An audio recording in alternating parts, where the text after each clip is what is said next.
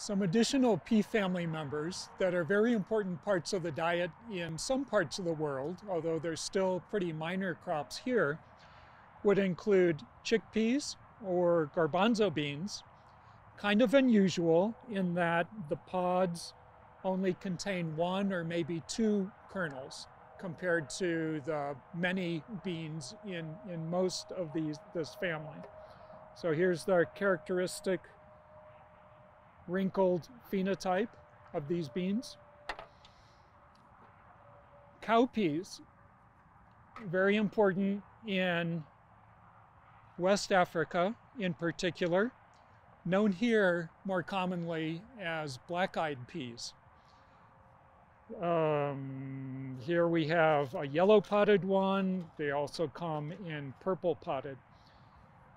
Cowpeas are very notable because they have early maturity, as early as 60 days from planting a seed to harvesting a crop.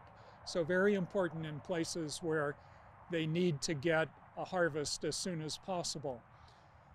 In the US, there's a lot of interest in cowpeas now as a forage or a cover crop.